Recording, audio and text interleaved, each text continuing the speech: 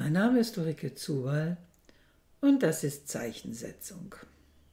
Heute mal ein bisschen anders. Die Abenteuer der schönen Chariklia von Heliodor. Heute in einem zweiten Teil, in dem wir über den Roman reden wollen, wollen wir uns mit den Personen in diesem Roman beschäftigen. Was erfahren wir über sie?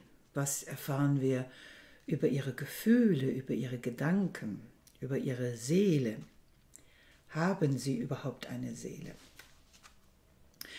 Und wir werden zu dem Ergebnis kommen, dass sie ja eine Seele haben. Sie sagen von sich, sie hätten eine, aber dass wir kaum etwas über sie erfahren, zumindest nicht indirekt, sondern nur wenn sie etwas von sich selber erzählen, wenn sie eine öffentliche Rede halten, dann erfahren wir etwas über ihr Innenleben und ansonsten müssen wir uns mit wenigen Bemerkungen begnügen.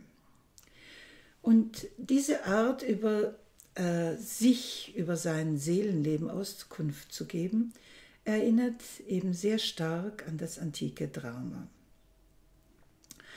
das antike Drama, in dem die Personen Masken getragen haben und eigentlich auch Menschentypen dargestellt haben. In diesem antiken Drama erfährt man nur etwas über ihre Gefühle, wenn sie in lauten Reden von diesen Gefühlen sprechen, und zwar gegenüber einem anderen. Im antiken Theater halten die Personen keine Monologe, sondern sie sprechen immer jemanden an und das ist in den meisten Fällen der Chor, der nun genau hört, was der Protagonist zu sagen hat und von ihm aufgeklärt wird, was er vorhat. Ein wenig ist es in diesem Roman von Heliodor genauso. Wir haben im gesamten Roman äh, Die Abenteuer der schönen Chariklia Anspielungen auf das Theater. Und zwar wörtliche Anspielungen, aber wir haben auch ähm, Szenen, die wie Theaterszenen wirken. Und das ähm, zeigt einmal mehr, dass der Roman eben aus einer Synthese entstanden ist, aus drei Gattungen, dem Epos, der Geschichtsschreibung und dem Drama, dem Theater. Im Heliodor wird an vielen Stellen gesagt, dass man sich wie in einem Theater vorkomme. Zum Beispiel sagt Gnemon zu Kalasiris, als sie im Hause des griechischen Kaufmannes Nausiklis sind, Du öffnest den Bühnenvorhang, um ihn im gleichen Augenblick zu schließen.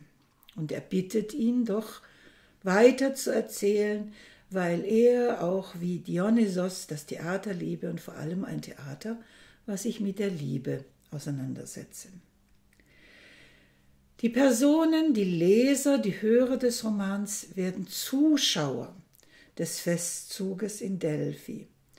Da sagt Heliodor, Griechenland stellte die Zuschauer in diesem großen Kampf um die Liebe zwischen Chariklia und Theagenes.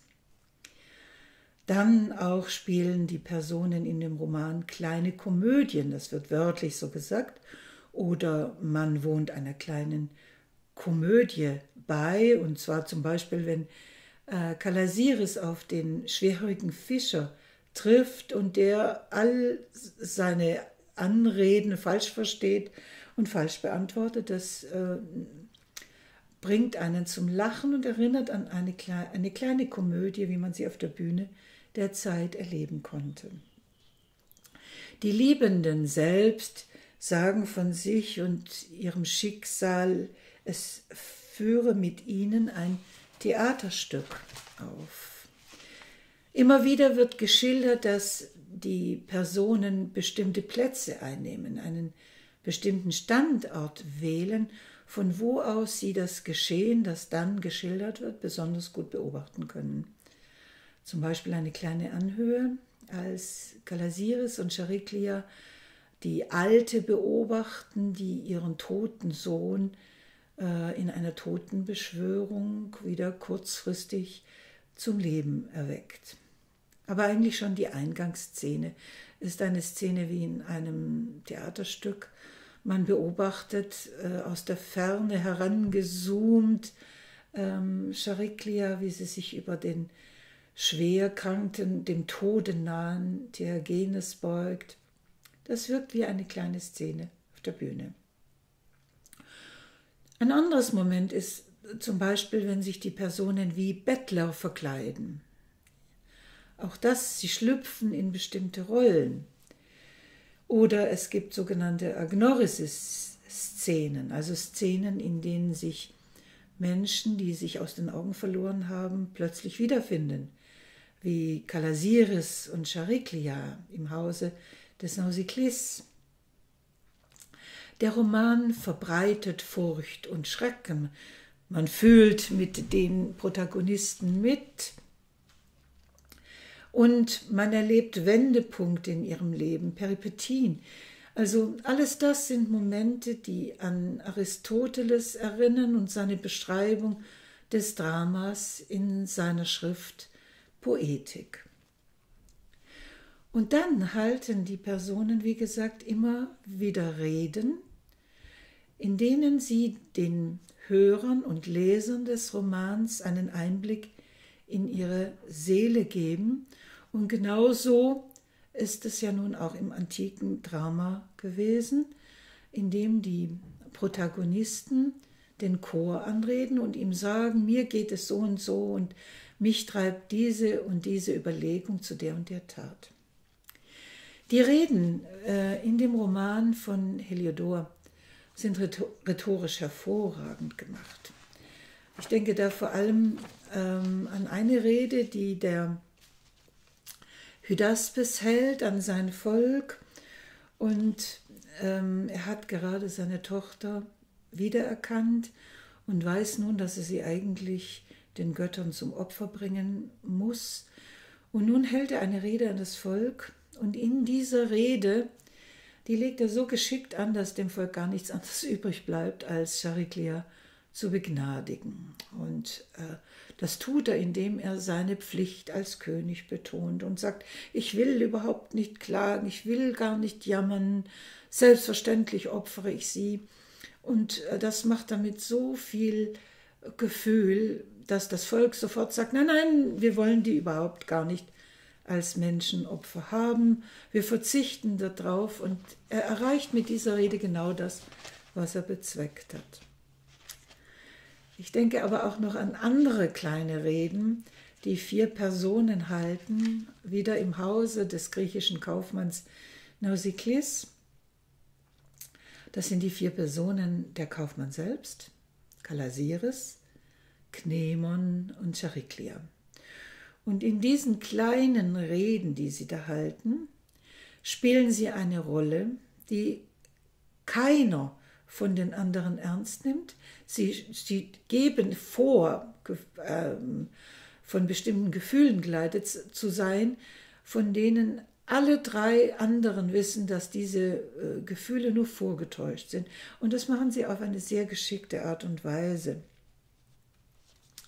Ähm, der Nausiklis sagt, ich bin eigentlich müsste ich ja jetzt aufbrechen und ähm, Geschäfte rufen mich in Griechenland, aber ich bin ein so guter Gastgeber. Selbstverständlich könnt ihr bleiben, solange ihr wollt. Woraufhin Kalasiris, der sehr wohl versteht, was der Nausiklis eigentlich sagen will, nämlich verschwindet so schnell wie möglich, kurz überlegt und dann sagt, bedankt sich für die Gastfreundschaft und dass man sie gerne länger in Kauf nehmen würde und dass es ihm richtig schwer falle zu gehen, aber er müsse jetzt einfach gehen.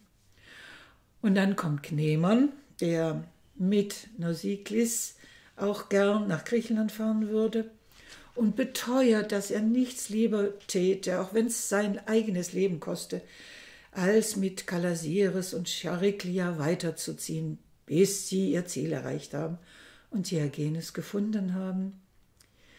Und Chariklia versteht sehr wohl, dass Kneman überhaupt keine Lust hat, mehr weiterzuziehen und bestätigt ihm in ihrer eigenen kleinen Rede, dass sie ihn auch überhaupt nicht brauche und ihn versichert ihm ihres Dankes. Und alle vier ähm, heucheln Gefühle, die äh, sie überhaupt nicht bewegen. Das ist aber rhetorisch sehr, sehr gut gemacht und ähm, alle, jeder versteht von dem anderen, was er eigentlich sagen will und der Leser und Hörer genauso. Die Personen in diesem Roman spielen wie im antiken Theater Rollen. Und so kann man auch von den Völkern, die in diesem Roman auftauchen, sprechen, dass sie bestimmte Typen darstellen, dass sie bestimmte Rollen spielen. Da gibt es die Rolle des Griechen, der Zivilisierten und der Barbaren, der Hellhäutigen und der Dunkelhäutigen, der Helden und der Bösewichte. Und selbstverständlich die beiden Hauptfiguren, Chariklia und Diogenes, das sind Helden durch und durch. Sie kennen keinen Makel, sondern Sie sind Götter gleich, edel, keusch, treu, klug, mutig, stolz. Sie werden nur ganz kurz, manchmal schwankend, wenn es darum geht, dass ihrem Geliebten oder der Geliebten etwas Schreckliches passiert sein können, dann werden sie verzagt, aber ansonsten eigentlich gar nicht. Das sind göttergleiche Helden, die uns in ihnen begegnen.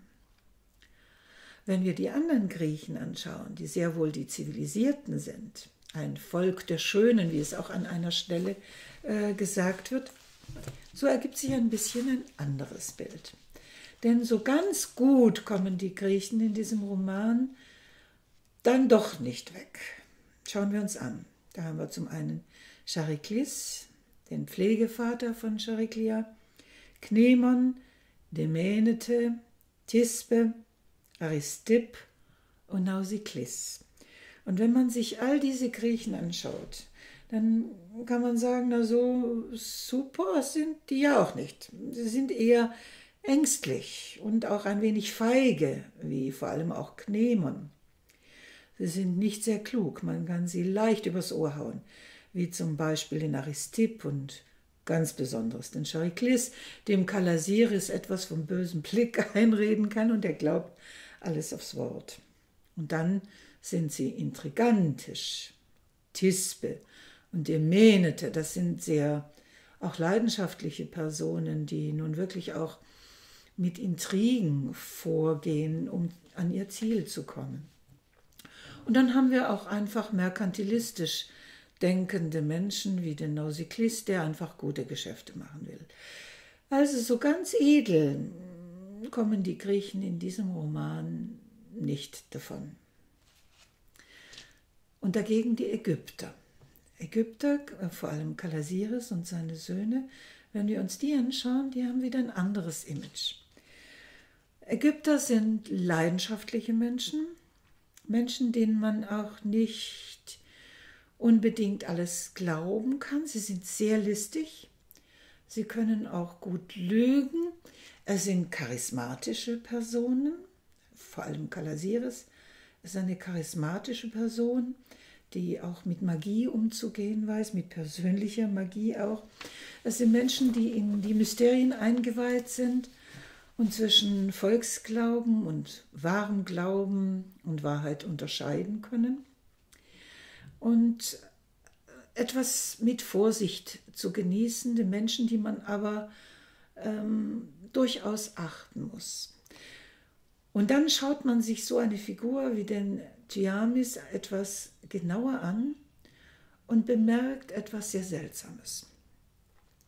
Als wir dem Tiamis das erste Mal begegnen, ist er ein Räuber.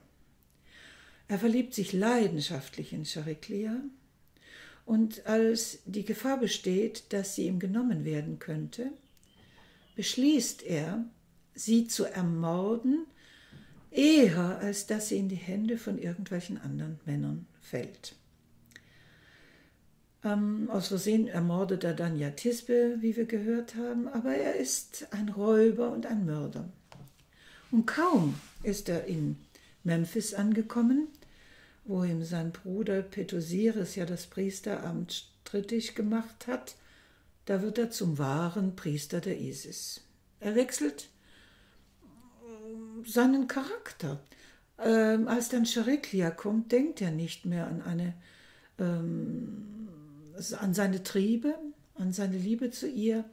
Er ist ein Bruderlieber geworden. Er verhält sich hervorbildlich seinem Vater gegenüber und auch Chariklia und Diogenes gegenüber. Er ist ein vollkommen anderer geworden. Und dieser Sinnenwandel wird nirgends irgendwie hergeleitet. Das ist sehr typisch für diesen Roman.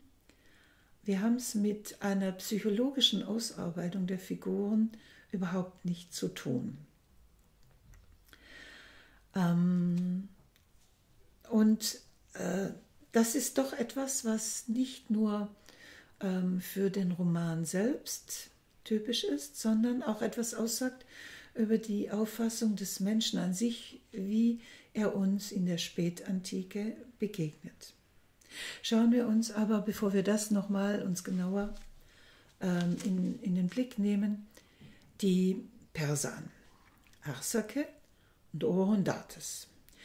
Die Perser kommen sehr schlecht weg, selbstverständlich, weil in dieser Zeit ja nun im Osten, als Heliodor geschrieben hat, wirklich die Sassaniden an der Grenze sitzen und das Reich bedrohen. Diese Perser sind prunksüchtig, herrschsüchtig, eifersüchtig, enthemmt, intrigant, falsch. Sie haben sich nicht im Griff. Sie sind zornig. Sie sind sehr stolz. Ähm, aber das ist nun ganz gewiss kein Volk, das man nach der Lektüre dieses Romans ähm, sehr lieben wird. Dann haben wir sozusagen noch als einen weiteren Menschentyp Sklaven.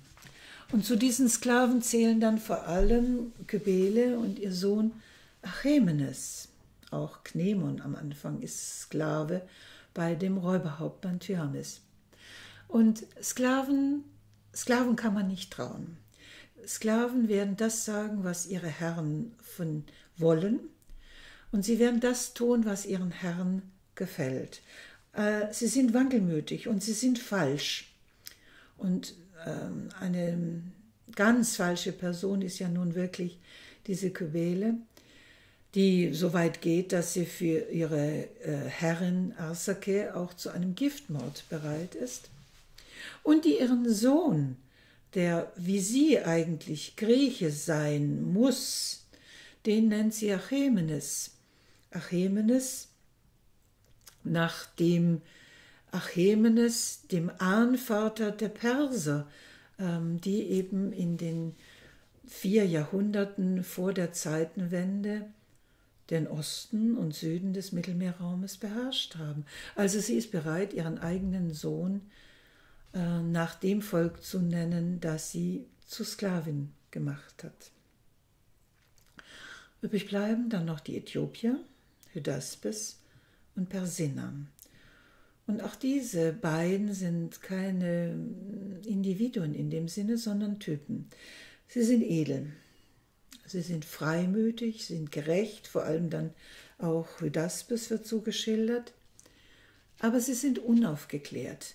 Das Licht der Vernunft hat sie noch nicht erreicht und es wird an Chariklia liegen, die Eltern zum wahren Licht der Vernunft zu bringen und sie so weit zu bringen, dass sie auf die Menschenopfer verzichten und zu wahren, humanen Menschen werden. Alles in allem können wir also sagen, dass die Personen, die uns in dem Roman begegnen, Personen sind, die bestimmten Rollen entsprechen. Es sind in dem Sinn keine individuellen Persönlichkeiten, die uns da gegenübertreten. Und sie haben wie sie von sich selber sagen, sie haben eine Seele, aber mit dieser Seele scheint es nicht weit her zu sein. Auf jeden Fall bekommen wir kaum einen Einblick in die tieferen Schichten dieser Seele, die sie vielleicht gar nicht so haben. Was erfahren wir über die Personen, über ihr Innenleben von Heliodor? Sehr wenig. Wir erfahren, dass jemand plötzlich schweigt, dass er errötet oder blass wird, dass er den Blick senkt. Auch, dass er weint und laut klagt, sich die Haare ausrauft, den Kopf schüttelt oder auf den Boden wirft. Das sind so Gebärden, die etwas über die äh, wirklich heftigen Gefühle einer Person aussagen. Aber mehr erfahren wir nicht.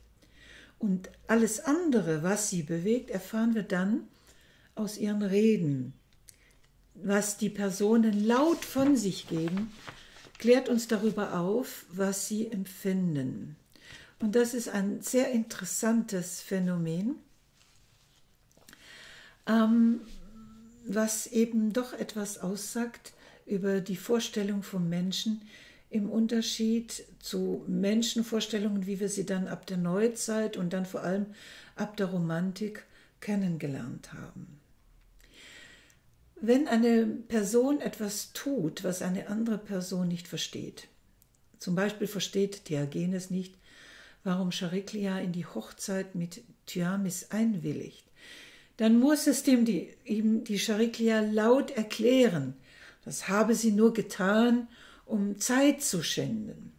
Ähm, äh, Theagenes ist nicht in der Lage, zwischen den Zeilen zu lesen oder aus anderen Momenten etwas ähm, Aufschluss zu bekommen über das, was Chariklia in Wahrheit im Herzen bewogen hat. Ähm, und dieses Phänomen, was uns in dem Roman ähm, äh, auffällt, das fällt eben auch in den antiken Dramen auf. Die Protagonisten der klassischen antiken griechischen Dramen, Dramen von Aeschylus, Sophokles und Euripides, halten keine Monologe, selbst wenn sie sehr lange Reden alleine führen. Sie sprechen immer jemanden an. Sie sprechen in der Regel den Chor an. Sie offenbaren dem Chor, was sie fühlen und was sie vorhaben. Sie führen keine Selbstgespräche, keine Monologe, sondern Antigone oder Medea müssen jemandem erklären, was sie vorhaben. Und auch in dem, was sie sagen, entscheiden sie, was sie machen werden. Man nimmt teil an ihrer inneren Bewegung, aber das müssen sie laut sagen, damit es ähm, wahr werden kann. Das ist in den Schauspielen der Neuzeit vollkommen anders. Das Drama erlebt ja seine Renaissance dann wieder im 16. Jahrhundert. Denken Sie an Shakespeare. Und dann selbstverständlich im Barock, der Klassik bis ins 19. Jahrhundert hinein. Und ab der Neuzeit, ab Shakespeare, halten die Personen Selbstgespräche. Der Chor entfällt, bis er dann erst wieder im 20. Jahrhundert auftauchen wird. Aber in diesen äh, vier Jahrhunderten, vom, von 1500 bis 1900, taucht ein Chor nicht mehr auf. Die Personen halten Selbstgespräche. Jago, Macbeth, Romeo und Julia, Julia, sie reden mit sich selber und der Zuschauer im äh, Theater bekommt dann natürlich durch ihre Monologe mit, was die Menschen auf der Bühne, was die Personen auf der Bühne denken. Ähm, Im äh, Roman der nun auch entsteht in dieser Zeit mit einer der ersten Romanschriftsteller ist ja dann Cervantes mit seinem Don Quixote, erfahren wir sehr viel mehr vom Erzähler über das Innenleben der Person. Ähm, da auf einmal ab der Neuzeit werden, wird das Innenleben geschildert, ohne dass die Personen es von sich selbst laut sagen, äh, kundtun müssen. Man kann Rückschlüsse ziehen, auch aus Ungesagtem. Ähm, und ähm, ganz auffällig wird das dann auch zum Beispiel in der Weimarer Klassik bei Goethe. Goethe, der ja auch ein Iphigenie-Schauspiel geschrieben hat, wie Euripides. Ähm, aber Goethe braucht keinen Chor mehr. Goethe kann ähm, Iphigenie einen Monolog sprechen lassen, in dem wir als Zuschauer quasi als Chorersatz hören, was die Person denkt, von welchen Zweifeln und Sorgen sie heimgesucht wird.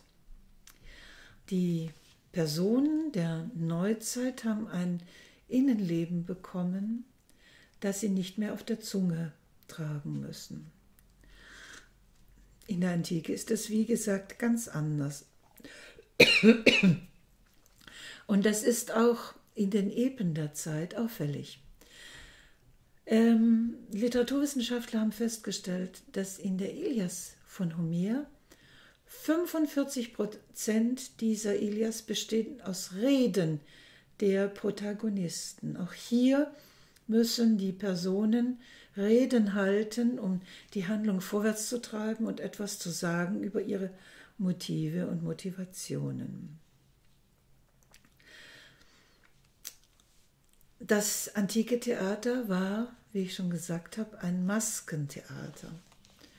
Und eine Maske verhüllt ja die Mimik des Schauspielers, lässt ihn ganz leicht in eine Rolle schlüpfen und diese Rolle, den Typ, den er dann darstellt, äh, kann er mit wenigen Mitteln nur ähm, darstellen. Äh, es bleiben ihm wenige Gebärden, wenige Gästen und vor allem die Reden, die er halten muss. Und das ist etwas so Eigentümliches, ähm, dass man dem ein bisschen auch noch mal nachdenken muss. Es gibt eine sehr schöne Geschichte von Karl Zuckmeier in seinen Lebenserinnerungen, wo er schildert, wie der Schauspieler Werner Kraus bei ihm zu Gast ist. Er kommt ihn besuchen und Zuckmeier erzählt ihm, dass er eine Perchtenmaske habe. Eine Maske, die man in der Faschingszeit in den Gassen herumträgt und die schauerlich aussieht. Eine Teufelsmaske ein schauerliches Ding. Ein großes, aus glatt poliertem Holz geschnitztes Gesicht mit Lederbändern hinterm Kopf zu befestigen. Hat eine übertrieben lange Nase, schielende, böse Schlitzaugen, ein grässlich bezahntes Maul, einen Haarschopf aus fahlem Flachs, wie man sich einen blutsaufenden, kinderfressenden Stroll vorstellen könnte. Und das Absonderliche nun an dieser Maske ist, dass kaum hat sie Krau, äh, Werner Kraus übergestülpt und an sich genommen und kaum fängt er an zu reden, verändert die Maske ihren Charakter. Werner Kraus, Werner Kraus legt nur ganz kurz den Kopf zur Seite und fängt an zu reden. Und einmal schildert er einen bösartigen äh, Charakter in seiner Rede und sofort wird diese Maske bösartig. Und dann fängt die Maske an zu klagen und auf einmal wird diese Maske, sieht sie todtraurig aus. Und dann wieder ähm, erzählt äh, Werner Kraus in sehr lustigen Worten von sich und auf einmal wird aus dieser furchterregenden Maske ein sehr lustiger, komischer Kobold. Masken verändern ihren Charakter je nachdem, was sie sagen, was sie über sich selbst sagen. Äh, das lateinische Wort persona für Maske, unser deutsches Wort Person ist daraus geworden. Und ähm, solche hm, Charaktermasken, solche Personae tauchen eben auch in diesem Roman von Heliodor auf. Sind keine Individuen, sie sind noch keine solchen Egozentriker geworden, wie sie dann die Neuzeit kennt, sondern diese Personen tragen noch das Herz auf der Zunge und was sie von sich sagen, das kann man ihnen auch glauben. Und das ist eigentlich auch eine sehr interessante Beobachtung, die wir auch an diesem Roman machen können. Und wie gesagt, ich empfehle ihn, Ihnen diesen Roman vielleicht nochmal unter diesem Gesichtspunkt anzuhören, wenigstens hineinzuhören.